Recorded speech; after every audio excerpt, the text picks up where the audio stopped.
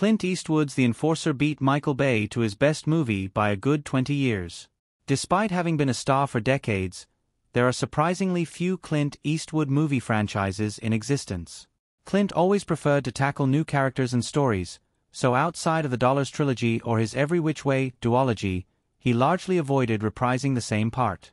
The key exception is the Dirty Harry movies, where Eastwood played San Francisco detective Dirty Harry Callahan a grand total of five times. The original 1971 thriller was both hugely successful and controversial, with its story of a cop who takes the law into his own hands to stop a vicious serial killer. The first sequel, Magnum Force, dealt with the vigilante theme head on when Harry faced off with a squad of murderous cops, and the series became a reliable one for Clint throughout the 1970s and 1980s. After the final entry, a rumored Dirty Harry 6 didn't happen despite audience interest in one final ride. Even so, Dirty Harry is still the character Clint is most closely associated with. Dirty Harry sequel The Enforcer predicted Michael Bay's The Rock. The Enforcer took Harry to Alcatraz years before Michael Bay's best movie. Harry and Kate in The Enforcer. The third Dirty Harry misadventure The Enforcer saw the detective and his new partner Kate Moore, Tyne Daly, chasing down a militant group dubbed the People's Revolutionary Strike Force. Much of the sequel is spent with Harry learning to work alongside a female partner, with all the required shootouts and foot chases around iconic San Francisco landmarks. The Enforcer's finale takes Harry and Moore to Alcatraz prison to take down the PRSF, who lay siege to the island and are holding the mayor hostage.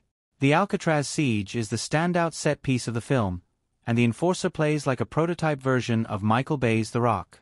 Michael Bay's 1996 epic saw a team of rogue Marines taking over Alcatraz with nerve gas rockets, and it was up to Sean Connery's former prisoner and Nick Cage's dorky chemical weapons specialist to save the day. Needless to say, The Rock features more explosions, gunfights, and slow-mo shots than all Dirty Harry movies combined. Even so, the rough skeleton of the Bay film is still present in The Enforcer. The Rock does a far better job with the Alcatraz siege premise. Michael Bay's second movie fleshes out the Enforcer's concept to the Super Max. The Enforcer's final set piece is the highlight, and features one of the saga's trademark downbeat endings. The mayor may have been saved, but it came at a high cost that does little for Harry's faith in the system. Action movies were very different in the 1970s, so the finale is more grounded and lacks the bombast that Bay would bring to the idea.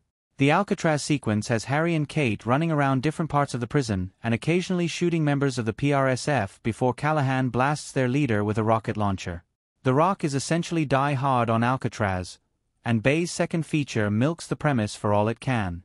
It might be the best Michael Bay movie, with the film featuring great performances, with a special shout out to Ed Harris's complex villain, action set pieces, and dialogue.